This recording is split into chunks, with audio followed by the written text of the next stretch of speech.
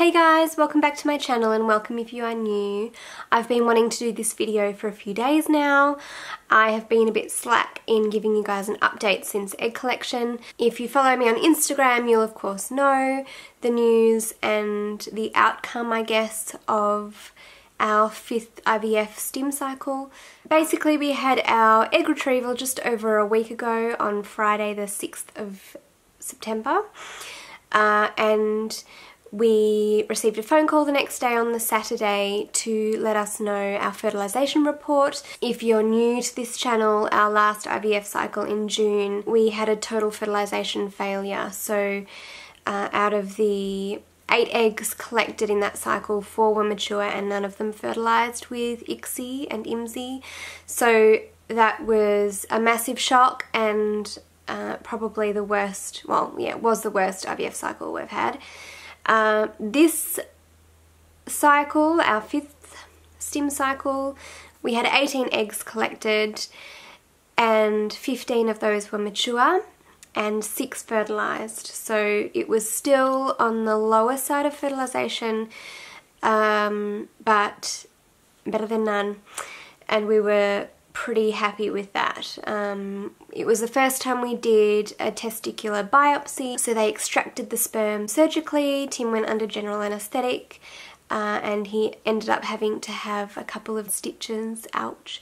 Um, recovery wise, I'll get to that, but we were hopeful that we would get a different outcome and improved fertilisation report um, because we did TESE. So as I said, it wasn't as wonderful as we would have liked, but it wasn't as bad as none. Um, we were still thrilled to have fertilisation and to have six. We were pretty happy with that. The embryologist did say to me that the sperm were twitching and I didn't really know. I took that as a negative thing, um, but I later realised after doing a bit of my own research that the sperm should be twitching, it's a sign that the sperm's alive. Then we had to wait till day four for the next update, which was Tuesday last week, a week ago, and we were told that of the six that fertilized, one had created an extra set of chromosomes, so it was um,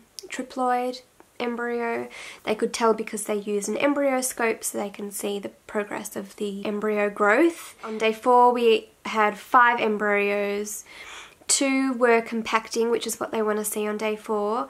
Two of them were partially compacted and one was at eight cells, so looking more like a day three embryo, so a day behind, but still had a chance to catch up. Previous clinics had given us day three updates, so we have had cycles look really good on day three, and then on day five received really bad news. So, I mean, I was hopeful that the embryos looked like they were doing well and at the stage they should be at, so that was good. Uh, that was day four, and then we had to wait till day six to get the final update to find out how many embryos made it to freeze. that day was, I was an anxious mess. Uh, I got a call at 3.30 in the afternoon to tell me that four embryos made it to freeze, which is amazing. Uh, I was not expecting that news at all. They were only able to biopsy three embryos. So three have been biopsied and sent off for PGS testing. Uh, we have to wait four weeks total for the results. So now three and a half weeks. Um, and then the fourth embryo was hatching but it was hatching the inner cell mass, which is the part of the embryo that forms the baby, so it wasn't safe to do a biopsy on that embryo. So it's going to be a bit of a wait the next few weeks. I hope, hope, hope the good news will keep coming. It was an amazing feeling to share good news on social media because I, it's always, I feel like I'm always sharing bad news. Um, you know, in the scheme of things, I said to Tim, it's a little hurdle that we should be celebrating, but I still feel like we've got so many hurdles in front of us still to overcome.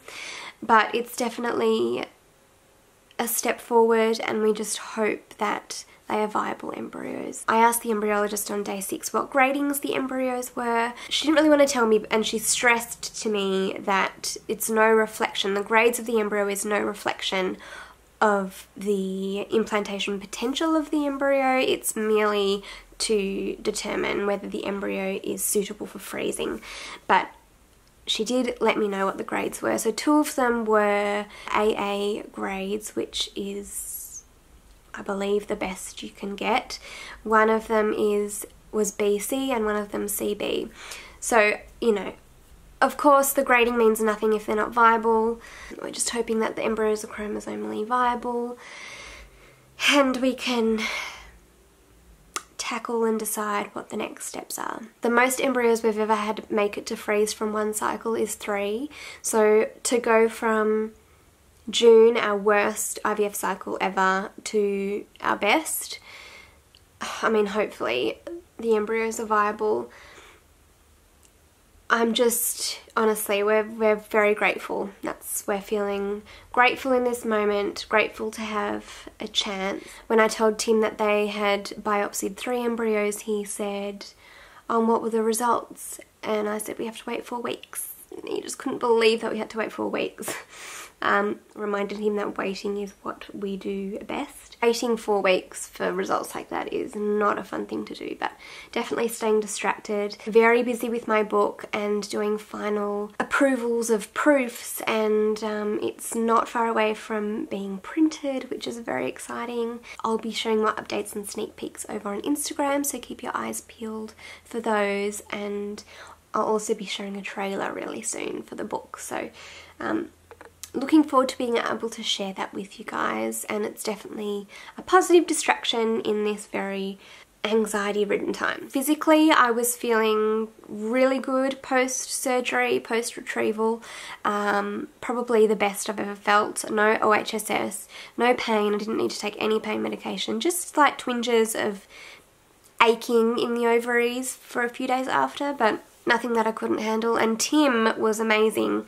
He didn't take any pain medication whatsoever and was a trooper. Uh, he said he was in a little bit of pain but it wasn't unbearable. The surgery was on Friday, he went back to work on Monday so I mean considering he had stitches and he was cut open I was really worried he would have a long recovery and need time off work and things like that so it was a good outcome and I was happy that he wasn't in too much pain.